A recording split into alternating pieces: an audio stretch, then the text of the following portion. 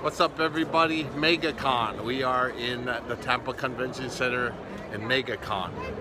It's like Comic-Con except no William Shatner. anyway, so this is what you're looking for right here. Plushies. Look at all these plushies. Plushies for plushies. Huh? I'm looking for crazy people, right? Like purple hair, yellow hair. Oh, green. Rabbit hair. Oh, I see the horns. You see the horns? What's the horns coming. See them right behind me?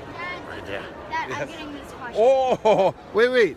We just got here. We, I like at the first booth. You already found something already? Ooh, look at this, Brandon. Wow, look. First booth already. They found something cool already, huh? How much fun is this? Shopping and creatures. Look, look, you're crazy people. Yeah, love it, love it.